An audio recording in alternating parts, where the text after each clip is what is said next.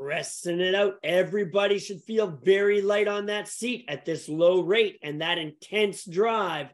We should all feel our bums coming up off that seat a little bit. Not enough that we fully lose connection, but we want to feel that lightness. Pressing it out. There we go, hanging loose on that handle. Nice stuff. Nice stuff. I think we can see a 220 mark. I think we can see a 220. Let's do it quick on the legs. No hesitation.